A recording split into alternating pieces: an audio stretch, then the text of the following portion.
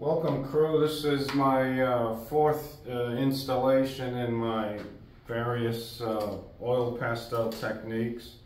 And uh, we've moved up to the uh, stage where as you re recall the last video where I was tinting and toning uh, canvas blocks that I have here. And I tinted and toned this paper block. So this one started out with all water-based uh, materials so I could paint on it with acrylic. And that's what I'm going to do today. And uh, the black lines were in charcoal so they won't resist the uh, acrylic paint as well. So it's a just a rough patina, nothing there I particularly like because I know what I'm going to build up on this surface. The other approach uh, I showed you the last video was toning the paper just using um, oil bars, oil pastels, and then hitting it with a uh, matte medium or I could use a Gamsol with a rag. So I'm just toning this archival paper. It's an archival canvas paper and I'm using uh, the China markers and grease pencils on this to get my black line. So this one we won't be painting on today because this will never take acrylic paint on top of it. What we're going to do is just paint on this uh, water-based, uh, uh acrylic-based uh, square canvas and I've already done some minimal acrylic on the base and then I worked in on it with the charcoal. So I'm gonna adjust the camera so you can see me start to apply paint here. I'm using acrylic paint. I'm using this Lukas Cryl Studio version. I get it at Jerry's Artorama. You can find it on the internet. But I did something unique today. I added some matte medium and you can get matte medium produced by everybody. It's, it's, a, it's on every online store, every art store. You could get gel medium. Each of them, you could get extenders to add to your acrylic. You could get non-drying um, solutions to add to it. So there's a myriad of uh, solutions that are made to mix with your acrylic paint.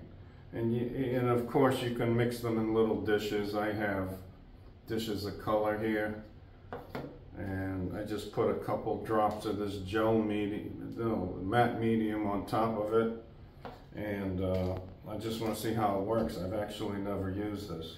I've used extenders, non-dryers uh, with my acrylic, but let's see what the gel medium does. It's always good to experiment.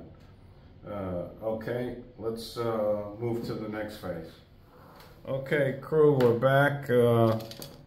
So you can use anything to apply your paint here. I'm gonna be a little experimentative today because I wanna use solid colors more than I have been doing.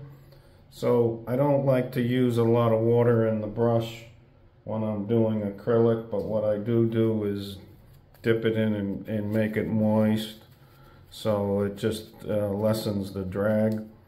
And I'm gonna just take some yellow paint you see here. And I'm just looking where to apply it. I, I, I don't know. And I want to create some new motion in here. I want to mix it with the uh, matte medium. And come in here a little bit and you can see how the charcoal is blending with the paint. So I'm getting some introduction of black moving in there which is nice. I don't have to apply black paint.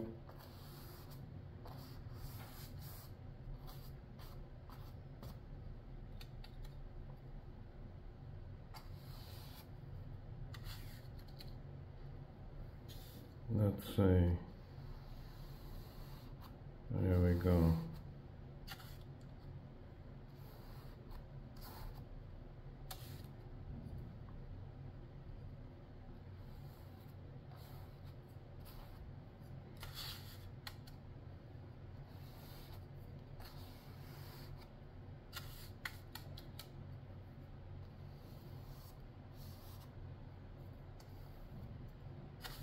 So I'm looking always in here for new, new arrangements, new shapes. So let me leave that right here like that.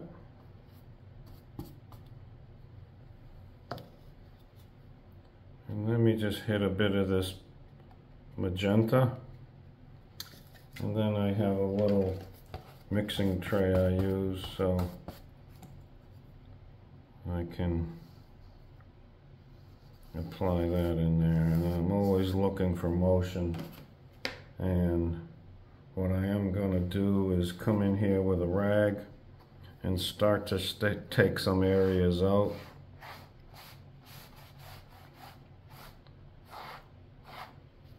And then what I do is come in with this little uh, scoring device I have.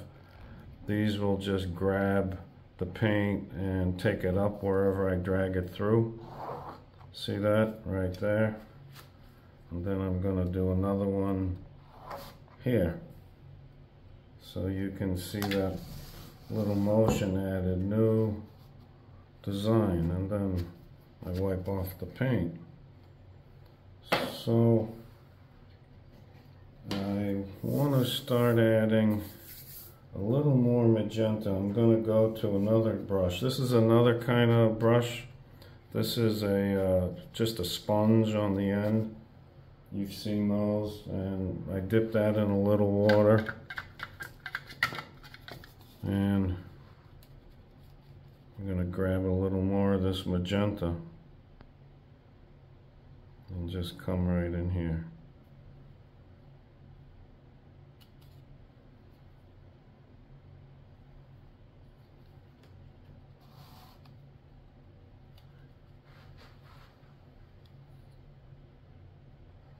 Come off this edge. So this is nice. It kind of floats on top of the lower base and I've let the lower base dry enough so I can gently drag across the top of it.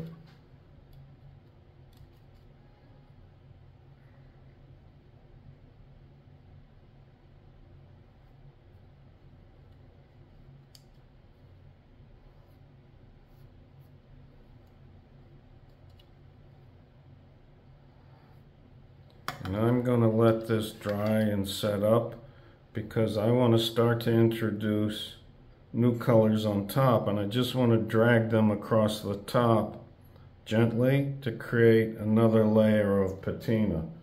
So this is just a little bit of a beginning to get me going where I'm seeing new dynamics, new energy from the shapes and I don't want to interfere in here too much. What I might do, sometimes I, uh, I use this plastic tool. Save every, it's not really a tool, it's some weird device that goes on the end of a garden hose.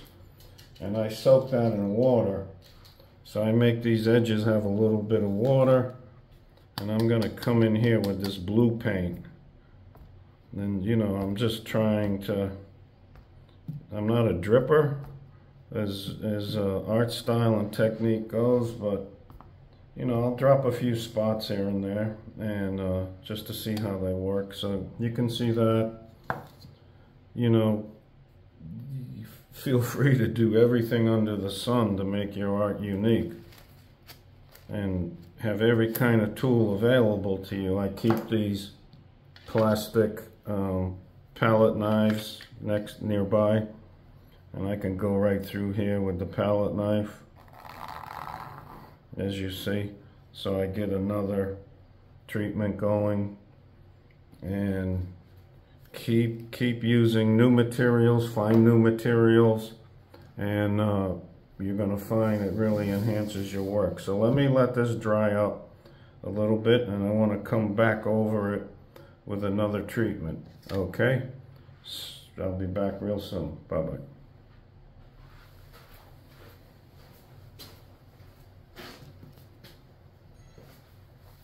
Okay, crew, you're back. Um, what I did with this piece is I took it outside, let it bake in the sun, and get it very close to bone dry. And, you know, just to reiterate that first session, I worked with uh, broader, cruder brushes just to block in my color. I'm, I'm not finessing anything down at this layer with the acrylic. The cruder it looks, for some reason it's better for me. And I'm trying to recreate and mimic the intonation and texture of oil pastels or the oil bars.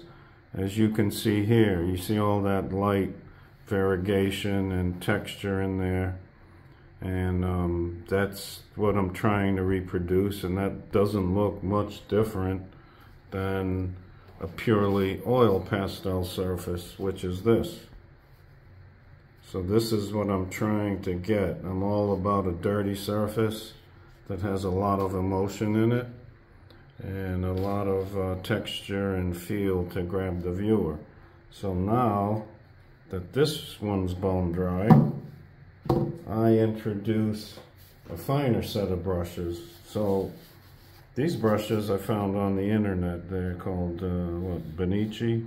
Um, it sounds Italian, but they're made in China. So these are a little finer, finer hair. And I can get more nuance and subtle glazing when I use these finer brushes on my uh, finished acrylic piece down here.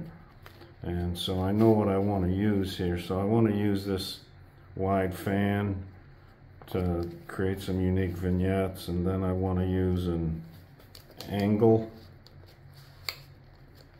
an angle brush. And then I want to use the broad hair, rounded corner brush. And uh, this was inexpensive, but these are very good quality. So look for those they're, they, I, I, yeah, as I said, they're on Amazon. They could be at Dick Blick or Jerry's Artorama. And then there's many other competitive brushes equally as good. So that's a tip. Uh, what I'm going to do now is take this, I want to get the yellow a little hotter and a little warmer and uh, I'm taking my matte medium and mixing it into the yellow once again.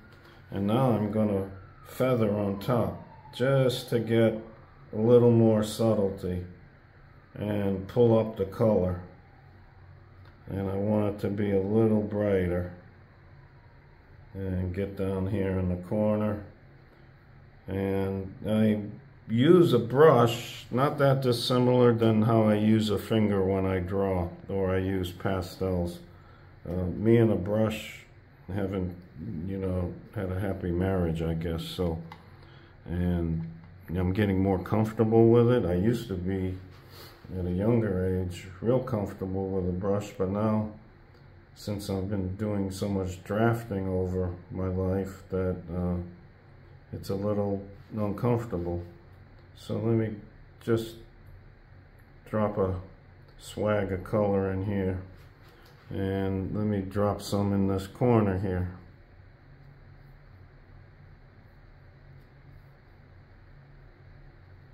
So you notice I balance. I have a hot corner here, I have a hot corner here. You know, I have a lot of subtle tricks if you see me work. I don't really get into them or talk about them. They're just nuances a style you adopt over years of working and you really don't think about them so I don't think to talk about them and uh, well, I, I still want to use this brush so I'm going to wash it I have a bucket of water there next to me. I'm going to wipe it out. And I want to come in here with uh, that matte medium with this kind of aqua turquoise blue. I want to add a little yellow to it. And I want to see where this baby will go. There we go. And you notice I'm just dragging gently. And let me show you up here if you can see this is a nice fine hair on this brush and I'm getting just subtle nuances that I want so it's not too much of a heavy hand. It's very light, just dragging. And I can go back in here and then create the vignette I want.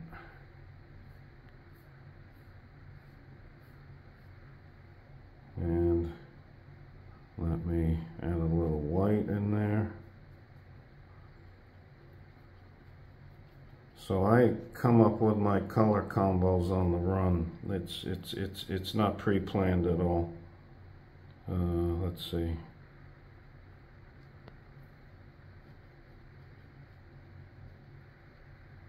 There we go. Let me get a little yellow.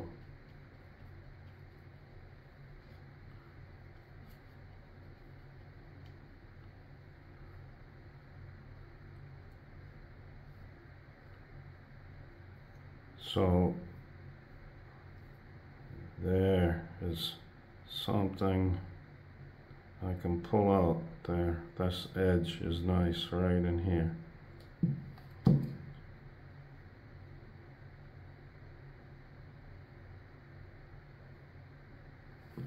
So I will uh, work this up to finish and I might do two, you know, this is the uh, second layer and I might go up to four layers. I usually do that and that gets me up to a good base where I feel comfortable starting to dive in with the oil uh, bars, oil pastels. And I'm constantly toning over other surfaces and just hitting it very lightly. So far I haven't used the big broad brush because I like this look. And then I'm gonna come in here, something, something here. No, I'm liking around this round set right here. How I'm gonna do this, I don't know. And then let me take that out. A little saliva. We'll take that out.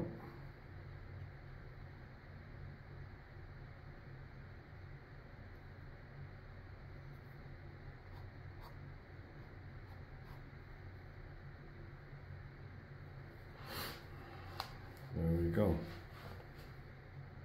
So, I like this shape in here. Now, I like to let black lines come through, bleed through, a lot of my, maybe 20% of my black lines I want to show through. I don't want to paint over them because the black lines are the bones and architecture of your piece.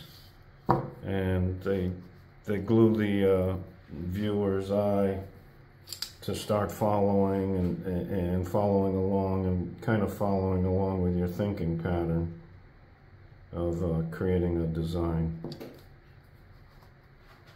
So let's see, let me get a little more white here. And this, this I can do quite a bit all day. This is the fun. This is pure fun right here. Because you are, you're really creating something unique, personal to you.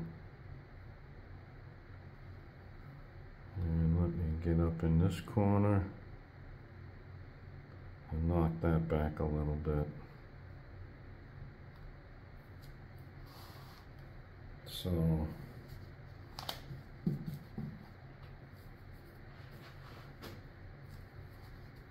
I see something I want to do here, but I might have to go to another brush.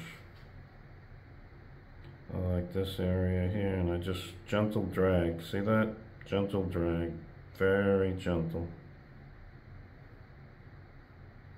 And don't be afraid to feather your edges with your finger. Yeah, little saliva does the trick. And that's nice right in there. Now, I want to use the angle brush because I want to get in this area. And you're going to learn the properties of all your brushes the more you work with them. And and that's the fun.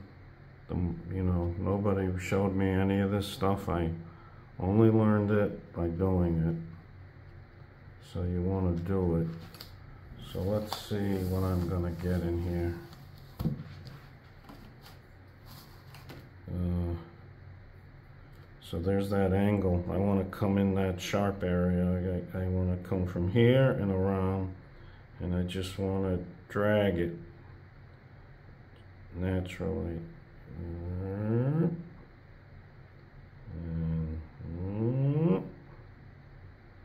That's that's all I need and then I can feather and the rest of the treatments I want to do to it will happen when I start carving in this with uh, the oil pastels and the grease pencils and the whole shebang. So let me grab here.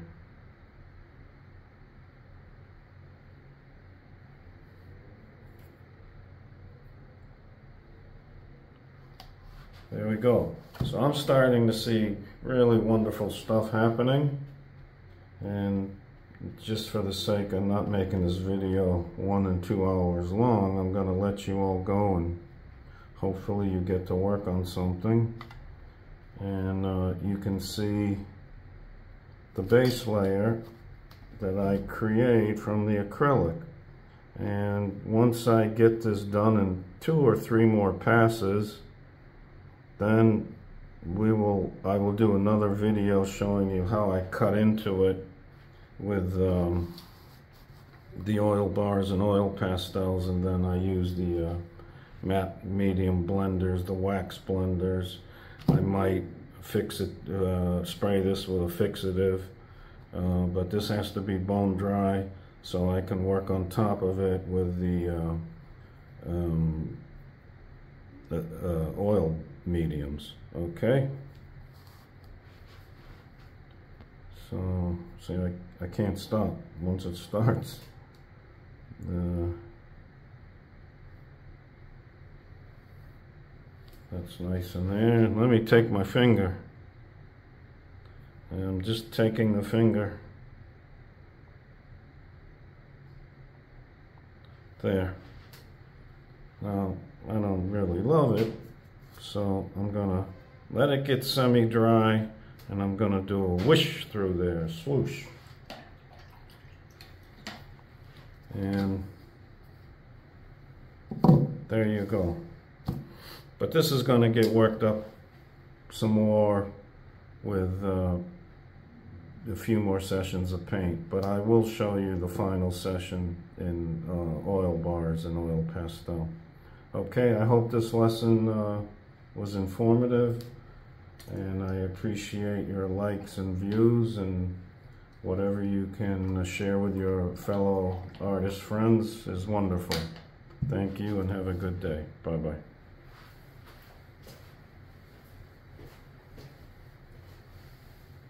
There we go. There. That's all you got to do.